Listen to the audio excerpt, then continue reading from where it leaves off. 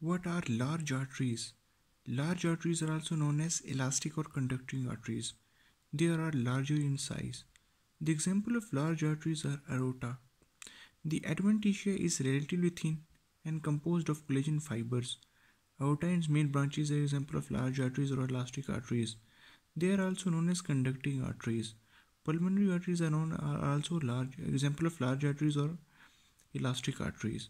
The wall is relatively thin in proportion to their lumen. Intima consists of endothelium and relatively thick subendothelial connective tissue layer consisting of collagen and elastic fiber. Some fibroblast and smooth cells are also present. The media of large arteries is composed of 40 to 70 concentrically arranged elastic fiber membranes. Between these